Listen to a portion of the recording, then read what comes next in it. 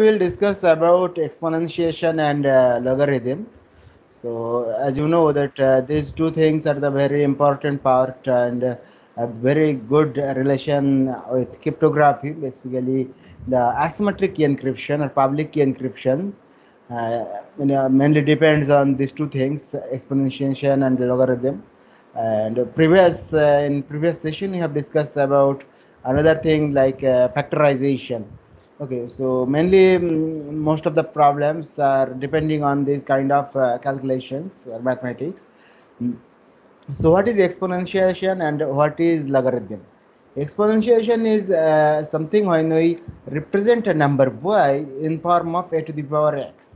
So we call this is exponentiation. That means uh, x is the exponent. Okay, and logarithm is that the same thing. You know, so y is given, a is given. What is the value of x? If you want to just uh, find out, then you can, can write uh, like uh, mm, x equal to log base a y.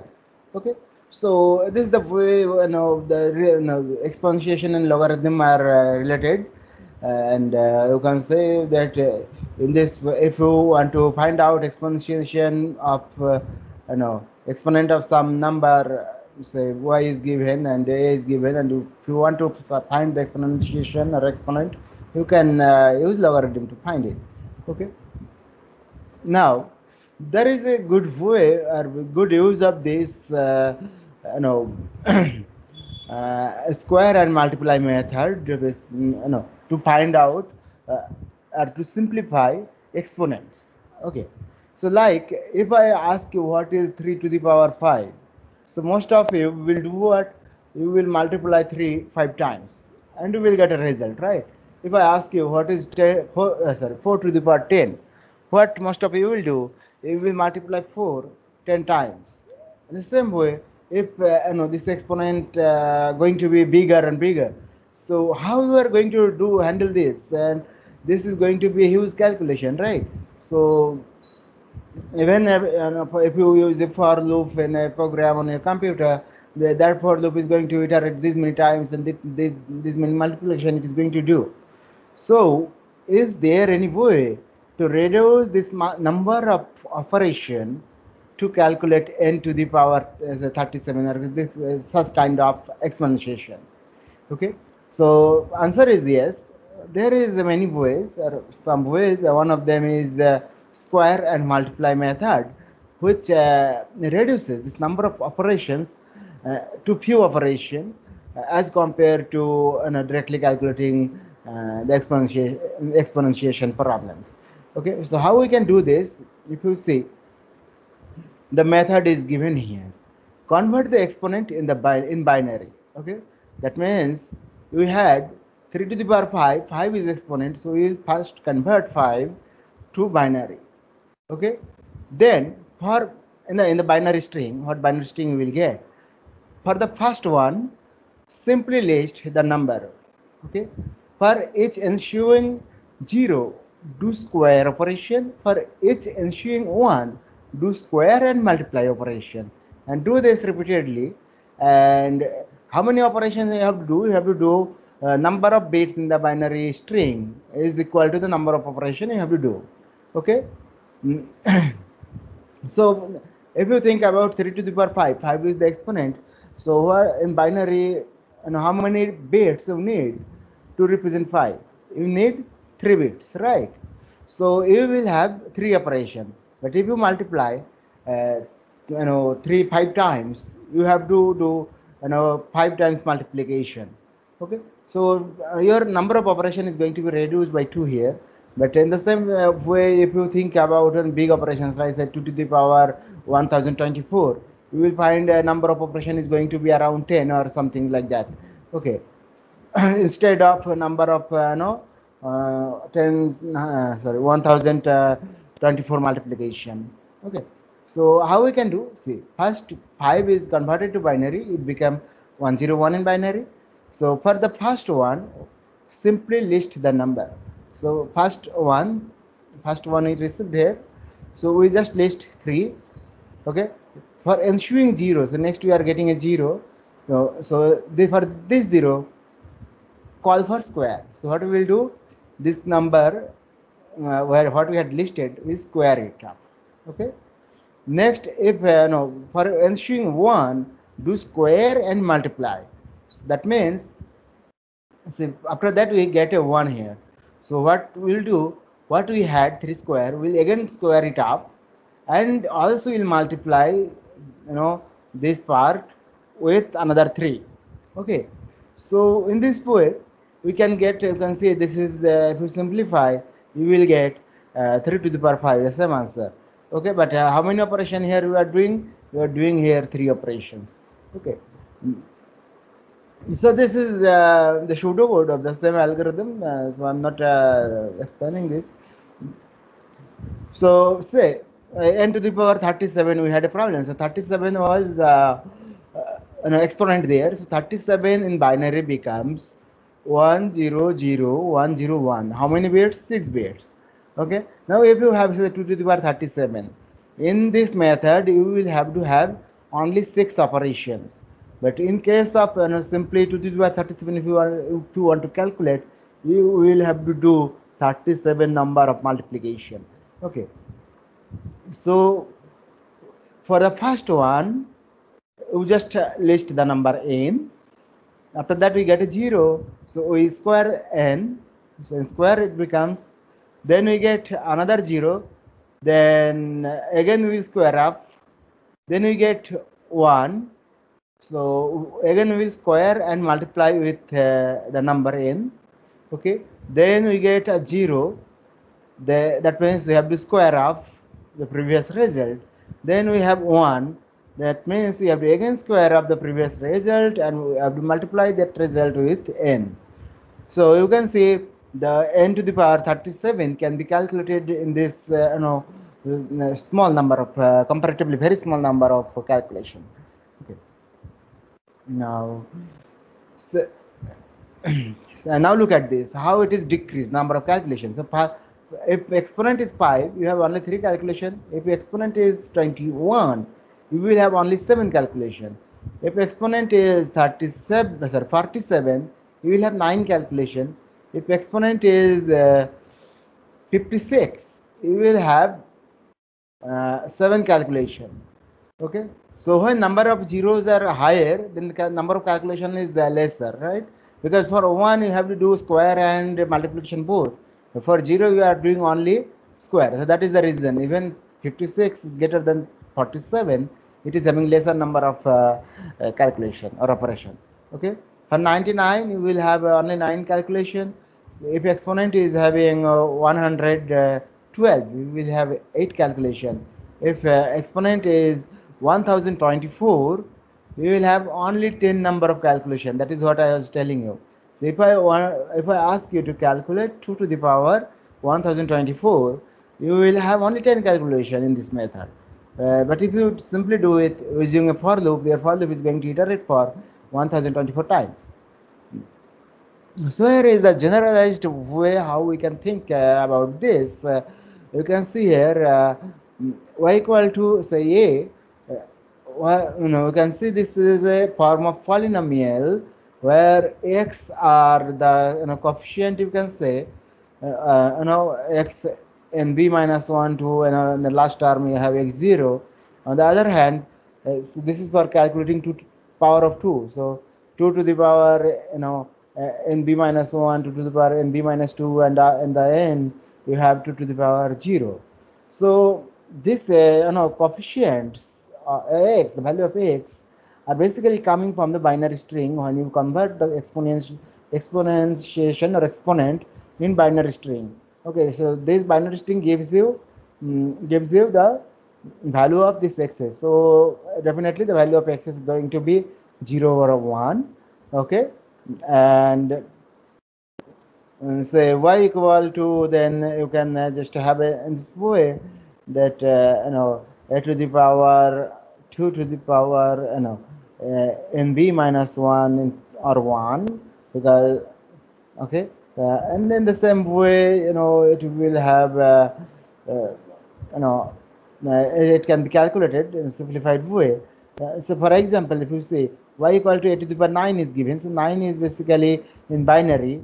It becomes 1001, which is equivalent to a to the power 8 multiply 1 into 1 because the 0 0 are basically going to give you a to the power 0 a to the power 0 which are 1 okay and multiply with another 1 is here a okay so a to the power 1 is uh, a okay so in this way you know this is the demonstration that how, how the thing is going to uh, work the, how the thing works and how this number of operations uh, reduces okay. The same thing here uh, you can see that uh, how it happens uh, you know here the iterations are shown here and here the power of uh, you know a is calculated. So for different value of uh, you know x uh, exponent is uh, x is equal to 22 here exponent is 22 so 22 in binary gives you 1 0 1 1 0 so you can see x4 is 1 x3 is 0 x2 is 1 x1 is 1 and x0 is 0 okay now you start iterating using this you know uh, value of uh, this coefficient x okay? So first you will get uh, you know 0 x equal to 0 so you can calculate it to the power uh, 1 okay? Uh, will get um, just a minute uh, sorry it is not, not a to the power 1 you will get a to the power 0 basically 0 okay?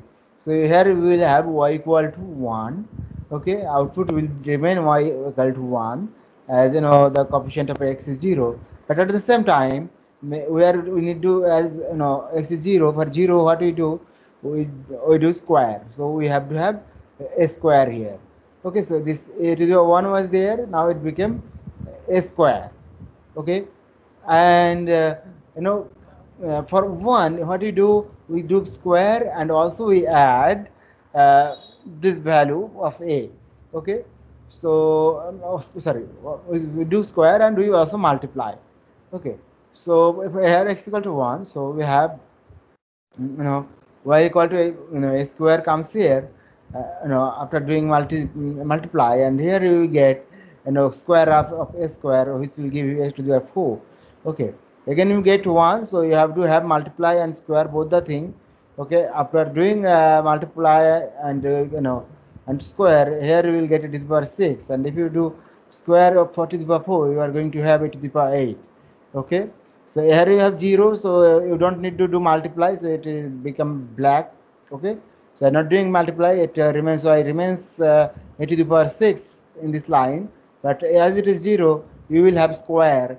So a to the power 8 becomes a to the power you know a to the power 8 square is equal to a to the power 16 okay now we have 1 again. So what we have to do we have to uh, multiply and square. So square is already done a to the power 16 we have and we have to multiply to the power 16 with y equal to a to the power 6 so if you multiply a to the power 16 into a to the power 6 you will get a to the power 22 so in this way this is, this is the breakup of the you know method how you know a to the power 22 happens using the, this you know binary you know, binary string of uh, uh, this exponent 22 binary of 22 uh, using as a coefficient here. Okay. So we are interested about you know modular arithmetic as we are doing you know from the beginning. So here you can see calculate 17 to the power 22 mod 21 okay so if we want to calculate this say and this is iteration number i this is uh, giving you xi okay the, that yeah this is giving you xi and here you are getting multiplication if you have a multiplication operation when you know we are getting y equal to 1 and uh, when you are getting 0 then you will have squaring operation. Okay. Now initial value of a is given uh, 17 a equal to 17 here. Okay. Mm. so let's uh, try to solve it. First xi is 0 because you know you know 22 is the exponent here and if you convert 22 in binary you will get 1 0 1 1 0 right? So for the first 0 uh, uh, So you can see here 1 0 1 1 0. Okay. Now for the uh, first zero, uh, the coefficient is zero. So we will not have a multiplication. We will have only square operation. So we do a square, which is basically 70, 17 square. Okay, 17 square mod uh, 21, which will give you result 16. Okay, so you can see how your calculation is going to be very much simplified in modulation. You know, uh, in mod 21, you, you get only 16. So in the for 0 you have 16 as a result in your hand. Now you have 1 okay? So coefficient is 1 so what you have to do you have to do multiplication. Okay? And multiplication and as well as square. So first you do multiplication. Okay? So y equal to this 1 into we had 16 the value of a was 16 16 mod 21 which will give you 16 okay so then what result you got, you have to square up this one and you have to do mod 21. So 16 square mod 21 give you 4. So A is 4 here. Okay. Now again you got 1 as a coefficient. So y equal to what we will do? 16 into this 4 we will take here. Okay. Because the previous value of y see here we had 1 because y was initialized with 1 so this 1 was used here. Now y value is updated to 16 so now y equal to 16 into this a comes here. Okay so 16 into 4 mod 21 which will give you 1 so value of y became 1 again. Okay and here you have to do a square operation as well because your uh, coefficient is 1 so previous value of a is 4 so you do 4 square mod 21 which will give you 16. Now here next coefficient is 0 so there is no multiplication. And you do uh, a value of a is 16 so 16 square mod 21 which will give you 4 okay? Now value of a is 4 and value of previous y was 1 so come to this uh, fourth iteration or uh, uh, here you can see the coefficient of uh, value is uh, 1 so y equal to, you have to do multiplication, y equal to previous value of y is 1 into 4, the previous value of a, which, uh, no, mod 21, which will give you 4. Okay. So here you got 4, uh, 4 is the result. Uh, at this iteration, you don't need to know, do it anymore. Okay. So as this is the first bit, so you got 4 as a result. Okay. So what is the if you if you be, uh, been asked that calculate 17 to the power 22 mod 21, the result is uh, you know the result can be calculated in this way uh, very easily. Okay, without doing any complex operation. Okay. So logarithm how to find a log modular uh, logarithm uh, the algorithm as pseudocode is given here so you can see yeah, this is something interesting. When you calculate, uh, you know, power of integer modulo something. So here this table is given for, you know, power of some integer uh, modulo 19. Okay, so since some integer is a, and power of that integer is you know calculated up to a to the power 18, a to the power 2, a to the power 3, a to the power 4, up to a to the power 18 modulo, and each of them are calculated in modulo 19 operation. Okay calculation. And a different value of a has been taken here. You can see a equal to 1 equal to 2 equal to 3 4 and up to a equal to 18 so this is basically a to the power 1 okay. So you can see one very interesting thing. If you calculate say a to the power 1 mod 19 you will get 1 as you know, value of 1 is 1 sorry value of a is 1 and uh, you know it doesn't matter. A to the power 18 also give you 1 only. So you know all the results in mod 19 when a equal to 1 so 1 to the power any value mod 19 give you going to give you 1 so this highlighted one is basically the unique value. Okay unique means uh, this value is repeated uh, you know in other places. So oh, you know first appearance is uh, you know basically um, first appearance is highlighted here. Okay? Now take a to the, the value of a equal to 2 okay? If you take value of a equal to 2 you will get almost you know all numbers from 1 to 18 as a modulo of a to the power uh, sorry 2 uh, a is 2 so 2 to the power n in uh, n n say varies from 2 to 18 okay mod in modular in modular 19 operation. Okay so in the same way for different value of a you can see in modulo 19 values the you know, values are calculated. And you can see this pattern is repeated basically. This highlighted is the unique one or when the first appearance of the pattern. And for if you see a to the power 7 sorry a is value of a is 7 then you will get only three you know only three um, uh, modulus so 7 11 1 again it is repeated. Again it is repeated. Again it is repeated. And so on. Okay. So in the same way you know when a equal to 12 um, in you know uh, 12 to the power n modulo 19 the values are again going to be repeated. Okay. 12 11 18 7 8 1 12 12 11 18 7 8 1 and so on. Okay so in this, each cases it is repeated. In a few cases you can see uh, you know the all the possible moduluses are appear. Okay so these are the things are noticeable. Okay. Now order of a group. Now for a group g the you know uh, and uh, it is a discrete group definitely.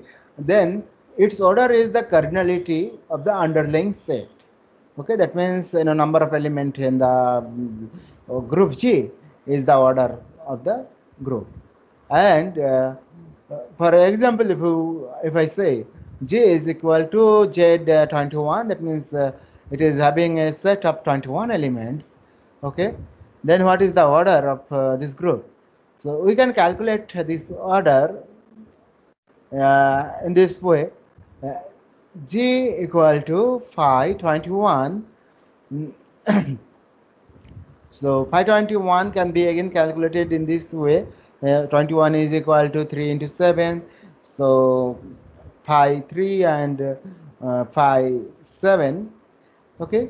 So which uh, phi 3 is 2 phi 7 is 6 which is going, going to give you 12 so in this way you can calculate that uh, order of group or number of element is possible in a group given by z21 okay. You know why you know because uh, it is having a certain uh, property to be satisfied so what are these uh, 12 elements? These 12 elements are basically 1 2 8 4 5 8 10 11 13 16 17 19 and 20 and all these are relatively prime to 21 so this is the reason that uh, you know in a, in a, field the elements are basically you know relative to relatively prime relatively prime to the uh, you know given uh, p 21 okay. Now order of an uh, element. So what is the order of an element in a group? So for a group g uh, say small g belongs to g so g small g is the element. Okay. The order of g is the smallest natural number in such that n-fold group product of g which itself is a natural number. So order of g can be given by minimum of n belongs to capital n. So n is a natural number basically. Okay which uh, gives you g to the power n equal to e. Okay. Now, if I uh, give an example here, you can see here, say one group G is given by Z10. Okay. It is uh, closed after uh, you know, under some operation. Okay. Then the you know, order of the group G is going to be you know phi 10 and phi 10 is equal to 4 you know uh, you know because uh, uh, 5 into 2 it becomes and uh, you know we calculate uh, and it becomes 4 okay? So there are four elements in the group which are uh, um, 1 3 7 and 9 which are you know basically relatively prime to this 10 okay? So you have you know you have the order of the group is 4 here. Now all relatively prime to with 10 okay? So we can find the order of each element by trial and error method. So we are not uh, going to follow some algorithm here. It is a error and trial method. So what we are going to do? So 1 to the power 1 congruence, congruence 1 mod 10 so is it satisfying? It is satisfying right so if it is satisfying then we will say that order of this element 1 is this power 1 okay so that means for which power? You know, which e for e was here e we had. So for which exponent? For which exponent? This this equation is going to satisfy. Okay so order of this element 1 is 1 okay now another element is 3 so if you see 3 to the power 4 congruence 1 mod 10 so if you calculate 3 to, 3 to the power 4, 9 into 9 for 81. So 81 mod uh, 10 give you 1. Okay, so it is satisfying this equation and this congruence relation. So we can say here E equal to 4. Okay. Now order of 3, this element is 4. Now why you are saying order is 4? You know, for some other value also this can be satisfied. Okay. But we are going to say or we just said that the order is the minimum number the minimum value of this e which is satisfying this relation is the order of the element okay so it is the minimum value okay 4 which is satisfying so 4 is the order so for 7 again you can see the 4 uh, 7 by 4 congruence 1 mod 10 will give you you know will satisfy this equation so 4 is the order of 7 and the same way 2 is the order of 9. Okay. So primitive roots. What is this primitive roots? For a group given g equal to zn uh, close uh, with the, some operation asterisk given by asterisk. Okay. When the order of an element is the same as phi n. Okay they, that element is called the primitive root of the group. That means when you will find the order of the group and order of some of the element or order, order of one of the element in the group is having uh, no, equal, then uh, we will say that element is the primitive root of the group. Okay, so it is uh, given by uh, this uh, say if you have a group j equal to uh, g8 asterisk okay? So becomes no element has the order equal to phi 8 uh, which is you know 4 so the order of element are all smaller than 4 in this case right? So here for this uh, group there is uh, no primitive root but if you think some other example uh, here say you have uh, G on group with, uh, with G7 then phi 7 is 6 okay? That means that means order of this Z is 6 here. Now let's try to find out you know what is if there is some primitive root for this? Okay. So how many elements it will have? It will have uh, six element definitely as it is having order of six and those six elements are one two three four five and six. Okay. Now when you take uh, so we will have six tests basically. So when you take a equal to 1 element equal to 1 okay. Mm. Element equal to 1 you do a to the power 1 okay? Uh, congruence uh, 1 mod 7 is it equal to 1 uh, yes. For the first case we will get 1 and basically for all other so we will get uh, we will get 1 okay? So the first appearance we can say this is a um, uh, this is a case where you have where you have uh, basically um, you have satisfying the relation that uh, congruence equal to 1 but this is not the this is not the you know um, this is not the primitive root because here this i is giving uh, the order of a. So order of a is 1 here okay? So it is not the uh, primitive root okay because order of this group is 6 so we have to find out you know when this order 6 which element out of this is having you know with order 6 going to satisfy the relation. So in this way if you say 3 uh, you know so uh, for 3 to the power 6 mod sorry 3 to the power 6 congruence 1 mod 7 is going to satisfy okay? That means uh, 3 is element which is having order 6 okay? In this group. So and the group is also having order 6 so here you can see the element order or you know order of this element is 6 and order of this group g is also 6 so you can say you can say that 3 is a primitive root. The same way goes with uh, here 5 okay so these are two this group is having two primitive roots 3 and 5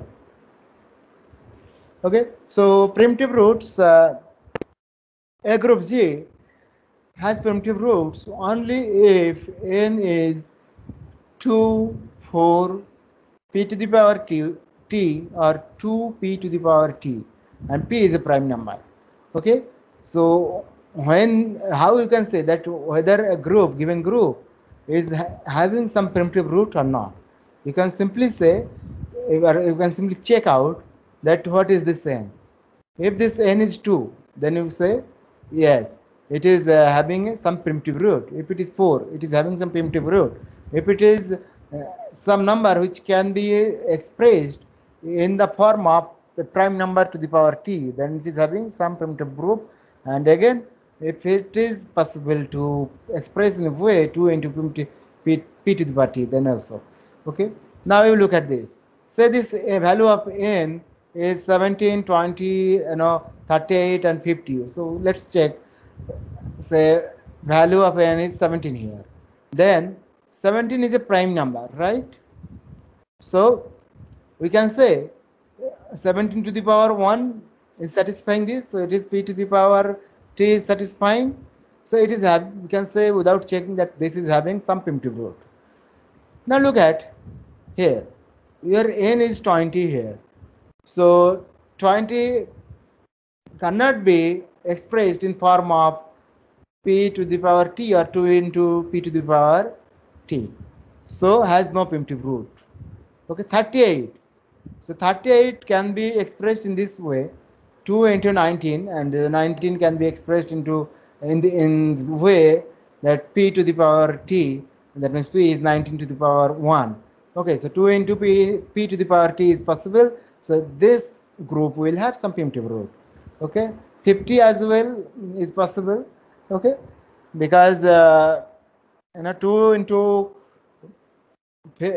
25 it should be uh, and it is 25 is basically 5 square okay. So if i just uh,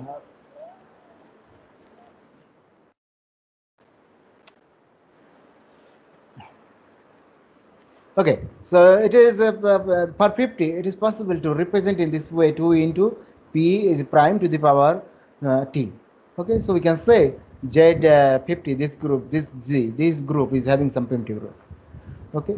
Now the group g has primitive roots only if this uh, we have discussed. And next point is if the group g has any primitive root the number of primitive root is phi of phi n okay? Phi of phi n okay? So if j is uh, if j is a primitive root in the group we can generate the set z star as z star equal to g to the power 1 g to the power 2 g to the power 3 up to j to the power phi n. Okay? We can generate this. Okay? This is called cyclic group. Okay?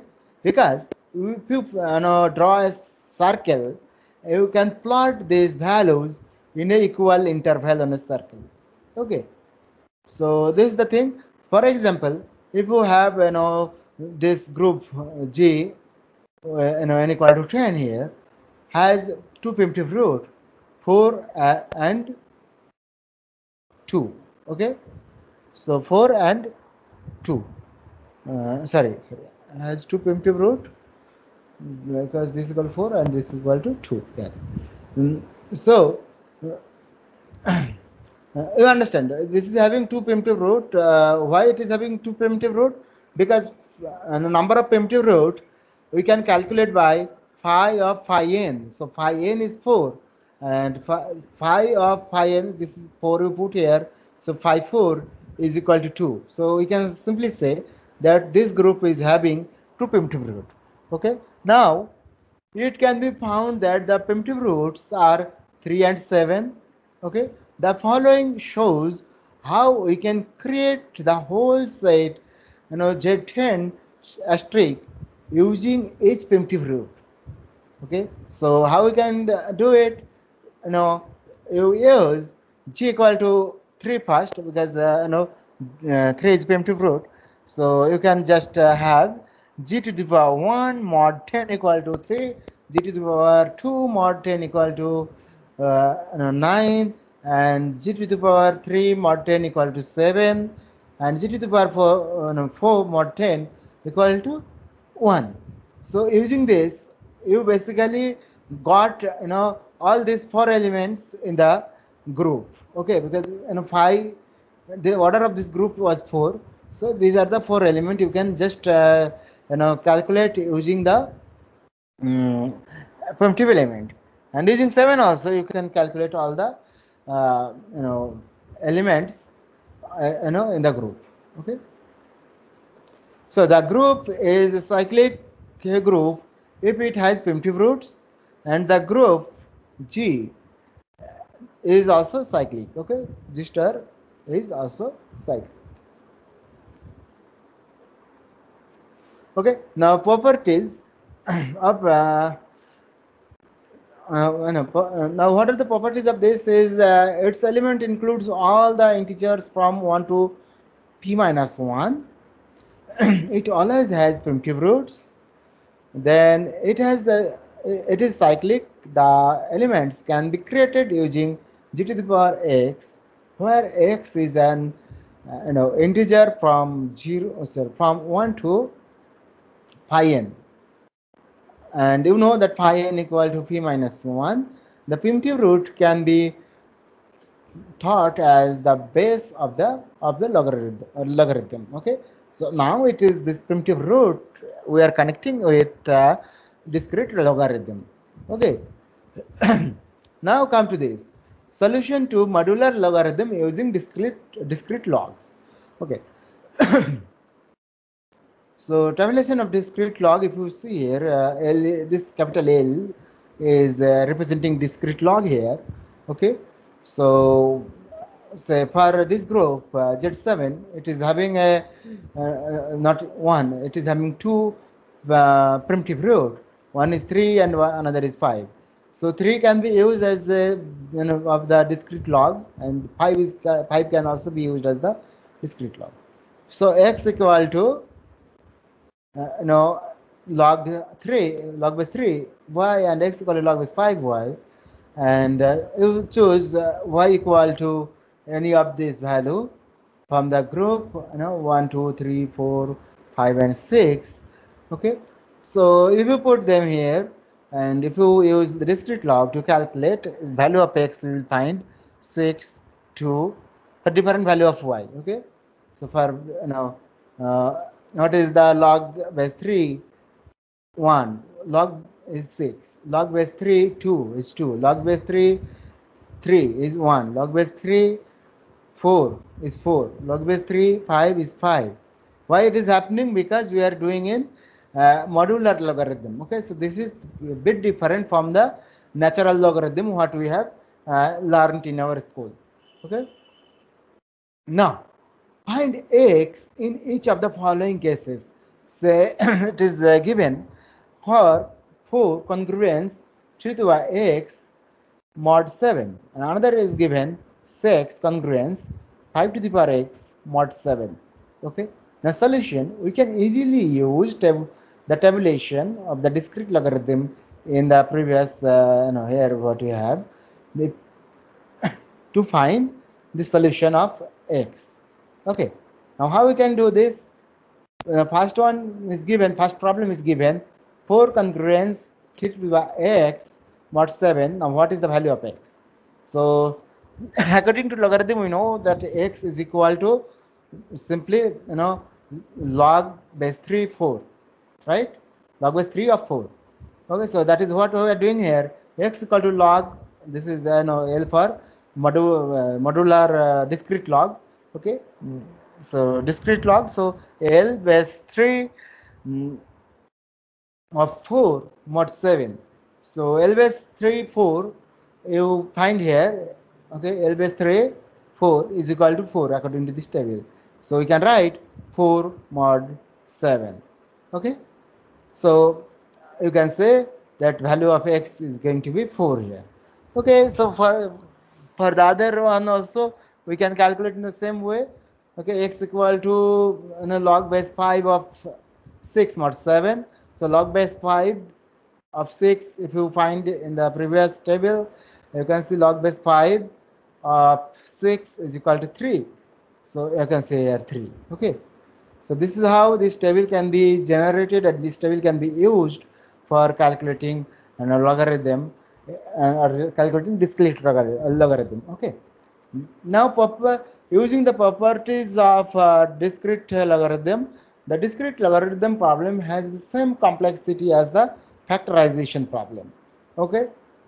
And what are the um, difference or similarity if you see comparing uh, this uh, traditional logarithm with the discrete logarithm you can see here uh, no, in traditionally we write how uh, log base a 1 is always 0 right? Because a to the power 0 whatever value of a put we, will always give you 1 okay? But here if you see log base g j is the primitive uh, root of uh, you know group.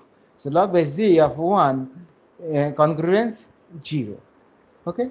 So you can see the similarity, okay, in mod phi n. Okay, then log base a x into y equal to log base uh, uh, log base a x plus log base a y. This is the associative rule we have uh, studied. We all know.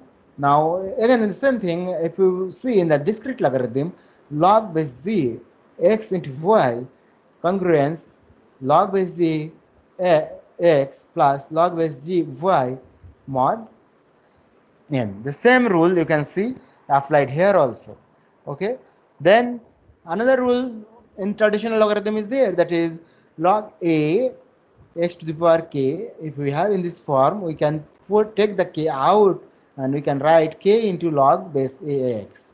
Okay. The same thing if you have in discrete logarithm, then also you can take the a, k out and you can write k into log base z of x mod phi. Okay, so you can see these uh, rules are similar in traditional logarithm and discrete logarithm. Only thing is that it is happening with modulo operation.